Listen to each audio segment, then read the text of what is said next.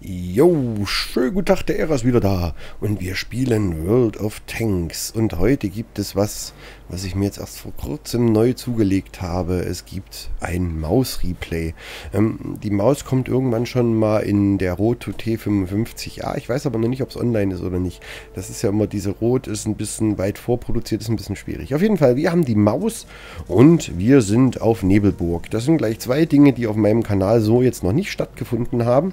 Ähm, das heißt, ähm, wir sind äh, auf dieser Groß-Game-Map äh, und ich kann meine Maus fahren. Ich habe für die Maus sogar meinen Jagdpanzer eher 100 verkauft. Ich sag's leider, weil ich mochte diese Bude irgendwann einfach gar nicht mehr. Also der hat bei mir nicht funktioniert. Ich fand es ganz schrecklich. Äh, was nutzt einem 300 Durchschlag, wenn man trotzdem auf alles und jeden bounced und trotzdem Gold schießen muss und so weiter. Ich war aber wahrscheinlich einfach zu blöd. Auf jeden Fall die Maus. Äh, die Maus ist ja schon so ein bisschen ikonisch für das Spiel. Aber ich finde, ja, ich bin immer noch auf der Suche nach der Liebe zu diesem Gerät, weil diese Geschwindigkeit kotzt mich einfach an. Also das muss ich echt sagen, es ist halt unheimlich nervig. Wenn man mal in Position ist, ist die Maus grandios. Aber bis man da ist, ist scheiße. Und vor allem, wenn man äh, irgendwie mal einen Fehler macht und sagt, äh, ich nehme die Position und man hat sich da falsch entschieden, man kann es nicht mehr ausmerzen. Man hat leider keine Chance mehr, irgendwas dabei zu retten.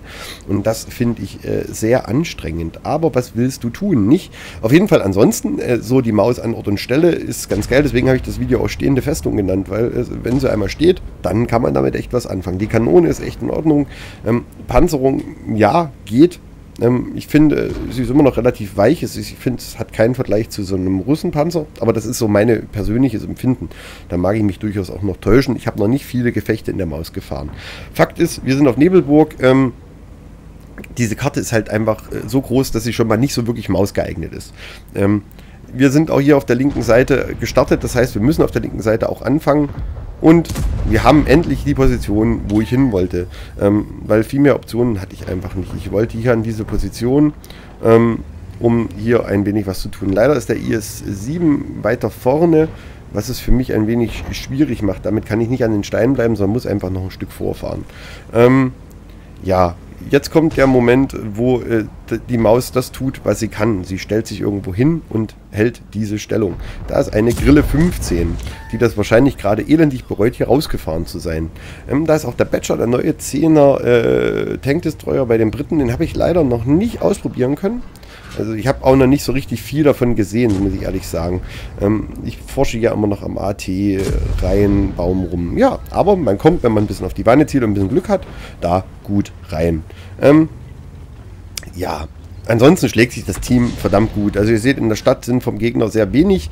Äh, die Mitte ist umkämpft, aber es steht 3-0 für uns, jetzt steht es 4-0 für uns und äh, die Nummer läuft relativ gut. Ich glaube, da brauche ich nicht drauf schießen. Das, äh, und da sind sie. Unsere Freunde von der Artillerie haben beschlossen, sie müssten mitmachen. Ihr seht schon, so eine Arti äh, macht 256 Schaden, das haben wir gut weggeatmet, aber das dann ist halt echt anstrengend. Ähm, und das heißt, wir müssen jetzt mal schauen, dass wir ein bisschen näher an den Berg kommen.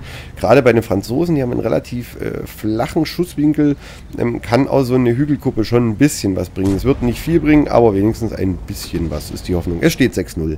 Ähm, müssen wir auch mal festhalten, äh, das Team schlägt sich verdammt gut. Ja, da ist ein IS-7-Turm.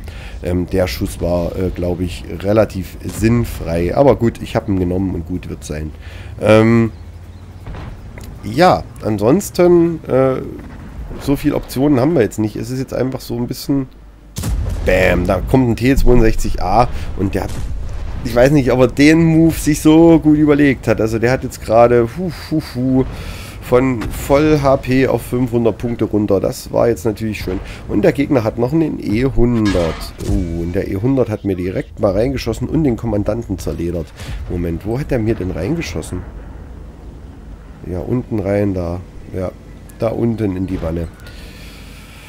Hm, mit AP hab, weiß ich nicht. Also sind so Schüsse, die kriege ich da nicht so unbedingt hin. Aber na gut. Äh, steht 7-2 und wir wollen uns auch nicht motzen und nicht meckern. Ist alles gut. Der T62A bounced und kriegt das direkt das Echo und ist damit raus. Das war unser erster Kill. Wir sind bei 2000 Schaden. Wir haben schon 1369 Schaden ermöglicht durch Ketten und äh, Spotting. Also insofern, und diese Position hier halten wir äh, einfach so lange wir wollen. Äh, zumindest wenn der Gegner nicht irgendwann mal loslegt. Da kriegen wir die Wanne vom IS-7, da komme ich dann auch rein, wenn es nicht der Turm ist. Demnach nehme ich den Schuss natürlich auch. Ja, und ihr seht, das ist das, was die Maus kann. Guck mal da vorne, da hängen sie alle rum und jetzt bauen wir noch einen E100. Da vorne sind sie alle und wenn ich einmal hier bin, dann stehe ich meinen Mann. Wir zielen auf den äh, Turret Ring und der Turret Ring ähm, ist ein Schwachpunkt, auf dem man durchaus eine Chance hat. Wir sind, haben den E100 quasi jetzt in, unten reingeschossen und sind jetzt bei 3000 Schaden. Schade, ich wollte die Seite vom Turm war ich leider zu langsam, aber da kommt eine Grille 15. Ähm, und der war jetzt nett, hat mir zwar eine gedrückt, aber hat halt natürlich auch dementsprechend das Echo bekommen. Ähm, ja, da steht es 11 zu 4. Ähm, na. Und im T110 EC E4 haben wir nochmal schön eine gegeben. Ähm, haben natürlich von dem auch 700 Schaden gekriegt. Jetzt haben wir ganz schön kassiert. Also muss ich sagen, jetzt sind wir auf 500 Punkte runter. Ähm, weil ich halt den Turm auch nicht rechtzeitig weggewinkelt habe. Der Turm so flach angeboten ist nicht so sonderlich clever bei der Maus. Man sollte das immer noch so ein bisschen anwinkeln, aber wenn ich schießen will, will ich halt ausschießen. Und da sind sie wieder, die Freunde von der Artillerie. Ja, wir sind jetzt ganz schön unter Druck hier, das muss ich festhalten. Ja, und, und, und, und, und komm, das ist natürlich eine schöne Position, wenn er uns da so schön die Seite hinhält. Da probieren wir es nochmal. Und da hat uns nochmal die Arti getroffen und uns die Kette abgeschossen. Also man ist natürlich als Mausfahrer ähnlich wie in den japanischen Buden schon so ein kleiner Arti-Magnet. Müssen wir mal so festhalten. Und dann ist das auf unserer Seite tatsächlich auch geklärt. Da vorne ist noch der IS-4. Und ansonsten haben wir unsere Seite jetzt im Griff, weil unsere Leute einfach rumgerutscht sind und dementsprechend äh, einfach nicht mehr viel passiert.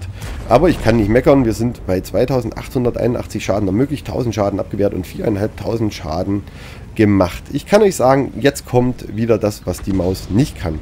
Wir fahren. Ähm, es ist 23,5 und wir müssten jetzt Richtung äh, gegnerisches Cap. Ich drehe jetzt die Geschwindigkeit hoch, weil es ist qualvoll, sich das anzuschauen. Ja, weil es wird jetzt auch nichts mehr passieren, außer dass wir fahren, fahren, fahren und nicht mehr rechtzeitig an irgendeine Position kommen, in der wir irgendetwas ausrichten können.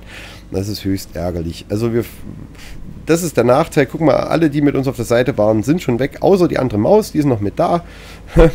und wir äh, fahren äh, langsam, aber sicher in unser Verderben, ähm, was ganz nett ist, äh, aber das war es dann eben auch schon.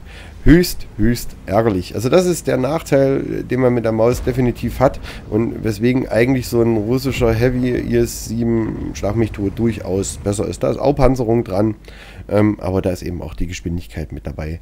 Hab leider keinen. Nichtsdestotrotz, ich fand trotzdem, das war ein schönes Replay und da ich ja die Maus unbedingt mal zeigen wollte und ich wollte unbedingt mal Nebelburg hier haben, ist das doch alles mal 35 Fliegen auf eine Klatsche und wir schauen uns natürlich auch hier nochmal die Auswertung an. Jo, da ist es schon, die kleine Auswertung. Es waren auf jeden Fall, gab es elf Anleihen. Das ist echt okay, kann man mit leben. Es gab äh, Überlegenheitsabzeichen zweiter Klasse, sagt schon viel aus. Also die Leute stellen sich in der Maus scheinbar relativ gut an. Es gab ein paar kleine Medaillen. Wir haben sogar den Spotter bekommen für Aufklärung. Wir haben 3000 Schaden knapp durch Aufklärung ermöglicht. Das finde ich ziemlich cool. Wir haben elendig wenig abgewehrt. Also es waren halt wirklich nur dieser 750er Schuss vom E100. Ähm, ja, und der T62A, das war jetzt nicht so aufregend. Ähm, sechs kritische Treffer und 4.500 Schaden gemacht. Also das finde ich echt okay. Ähm, wir waren, uh, das ist auch spannend. Also wir waren in unserem Team nach EP der Beste. Wir waren nach Schaden Zweiter. Das ist echt okay, kann ich gut mit umgehen. Also ich finde, war durchaus ein lohnenswertes Gefecht. Äh, ja, drei kleine Medaillen. Beim Gegner, äh, äh, ja, wenn man den jetzt mal hier danach ordnet, äh, wird es nicht besser. Nach Schaden 3000 hat der TVP geschossen, ansonsten nichts Aufregendes. Ähm, alles in allem, also grundsätzlich schöne Geschichte. Äh, ich mag auch meine Maus. Es ist tatsächlich 12 Schüsse, 11 äh, Treffer, 9 Durchschläge, aber ein bisschen Geschwindigkeit wäre halt nett. Und es gab 53.000 Credits plus. Das finde ich ganz geil. Wir haben halt wirklich kein, kein Gold geschossen. Ähm, Und dann kann man da durchaus Geld verdienen mit. Also das war jetzt keine schlechte Runde. Ähm, gab 3186 EP für den ersten Tagessieg.